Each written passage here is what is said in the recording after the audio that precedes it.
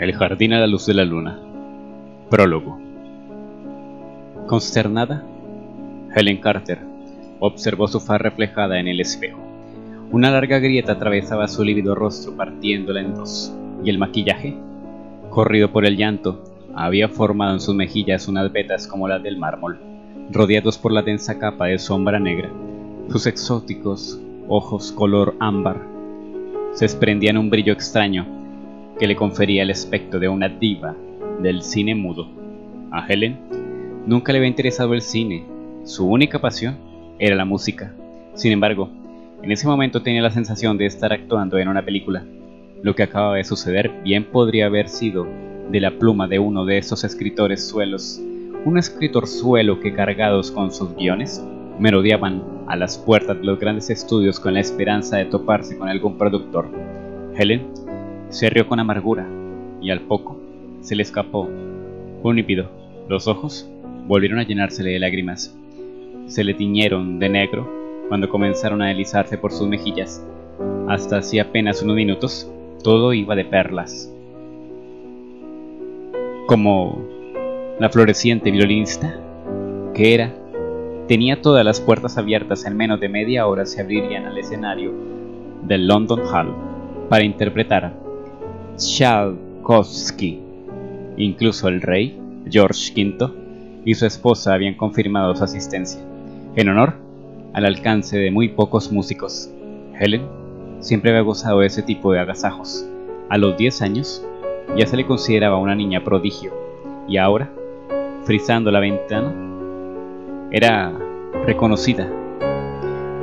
Ella tenía la veintena, como una de las mejores intérpretes del mundo. La prensa italiana enseguida se hizo eco de la irrupción de la inglesita y la apodó la nieta de Paganini. Cuando su representante le enseñó los titulares, no pudo evitar sonreír. Que digan lo que les venga en gana. Ella sabía muy bien quién, a quién agradecer su éxito. ¿Cómo olvidar la promesa que había hecho en su día? Entonces apareció esa mujer. Durante tres días había estado siguiéndole a todas partes como si fuera su sombra. No había momento que saliera a dar un paseo por las calles de Londres que no se le encontrara. Y cuando miraba por la ventana durante los ensayos, la veía apostada en la acera de frente. El primer día, Helen lo tomó una mera coincidencia, pero al ver que en los dos siguientes volvió a repetirse, empezó a perder los nervios. No era la primera vez que sufría el acoso de los admiradores, entre los que también se encontraban muchas mujeres, y sabía bien que en su ofuscación eran casi capaces de cualquier cosa por quedarse con ella a solas. Unos instantes, Trevor Black, su representante, se limitó a amenar la cabeza cuando ella se lo contó. Es solo una pobre vieja, una loca inofensiva. ¿Inofensiva? ¿Acaso hay algo loco e inofensivo? ¿Quién me asegura que no oculta un chillido en el bolso? repuso Helen. Pero Trevor parecía estar convencido de que la vieja era incapaz de hacerle nada. Si después del concierto sigue molestándote, daremos parte a la policía. ¿Y por qué no ahora? Porque serían... se reirían de nosotros. Haz el favor de mirarla bien. Trevor señaló la ventana, a través de la cual podía verse la desconocida haciendo guardia en la otra acera. Estaba un poco encorvada, llevaba un vestido negro raido, y sus rasgos eran ligeramente orientales. Helen no alcanzaba a ver el motivo por el que esa mujer le perseguía. Por un instante, algo le hizo remontarse a su infancia, pero enseguida descartó esos pensamientos. Sin embargo, no lo lograba, no lograba quitarse de la cabeza que esa extraña la estaba vigilando y que aguardaba la menor oportunidad para intentar hablar a solas con ella. Y casi lo logró, cuando se colocó en su camerino junto después de que Rosie, a petición de la propia Helen, se asomara al ver lo ocurrido que estaba en el auditorio. Al verla, Helen quiso pedir socorro, pero esa mujer tenía algo hipnótico que le impidió gritar. Lo que la visitante le contó en esa breve conversación fue algo tan terrible y estremecedor que hizo saltar un resorte en su interior. Presa de la ira, Helen Agarró lo primero que encontró y se lo lanzó, pero falló y lo estrelló contra el espejo.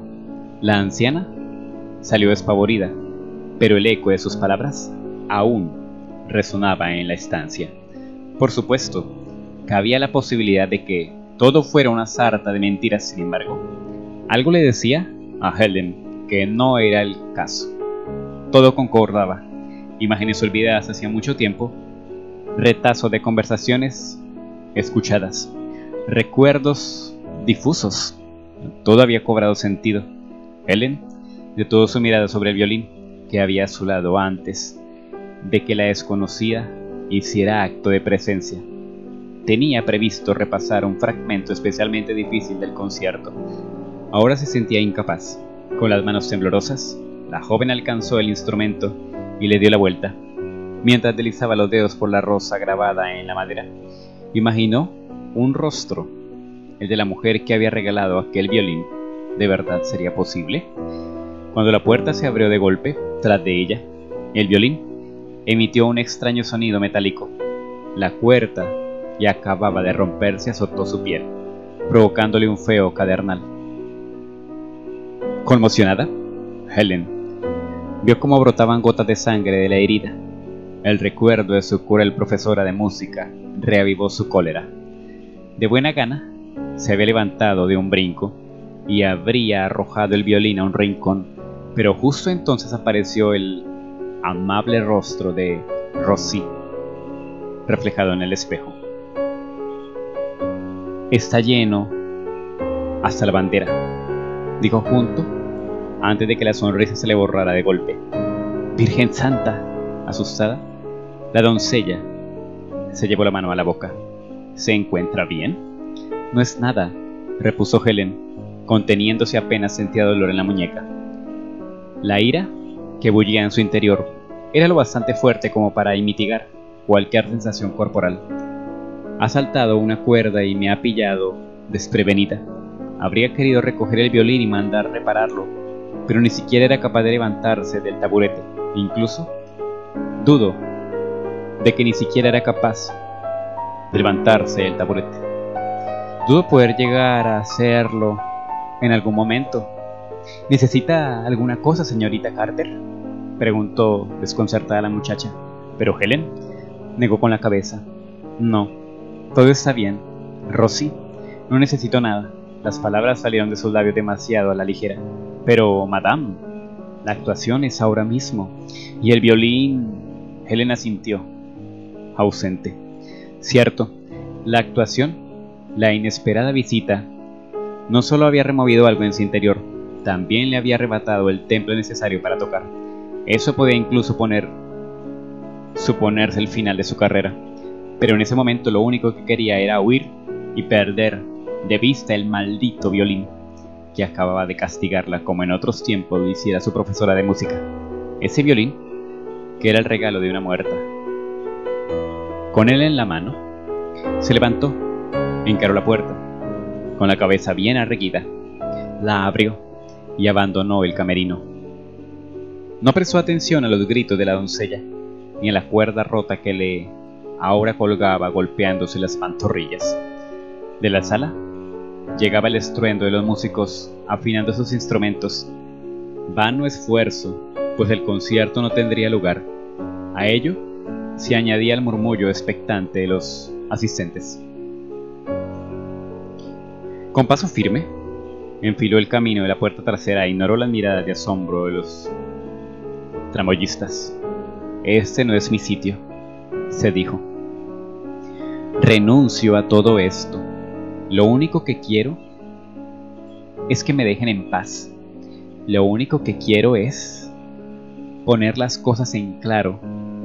Cuando empujó la puerta, el violín emitió un sonido estruende, que sonó casi a la advertencia. Un aire frío y húmedo le golpeó en el rostro. En esa época del año, las noches londinenses eran especialmente inhóspitas, pero a ella le dio igual. El corte en la mano latía y el violín de pronto le pesaba un quintal.